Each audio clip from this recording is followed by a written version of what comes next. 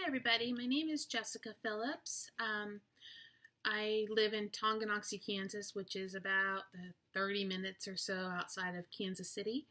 I am a single mom to two boys who are 11 and 14. Um, lived in Kansas for about almost 15 years.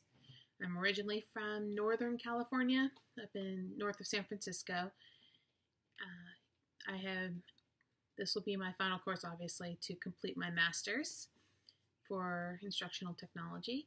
I am a fourth grade teacher in Kansas City, Kansas at Frank Rushton. I've been doing this for this, just finished my third year of teaching. We have a lot of ELL kids, so it can be a challenge at times. Um, but yeah, I teach general ed in my classroom. I'm a big Harry Potter fan, so everything in there is Harry Potter themed, and we read Harry Potter each year.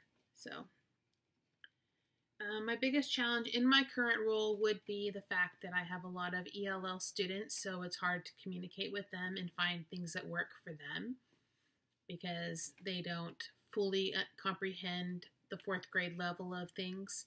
So it makes it a little more challenging. My future plans are that another challenge I've had is the fact that we had to do all online learning, but this course has helped me a lot to prepare for that, which was great.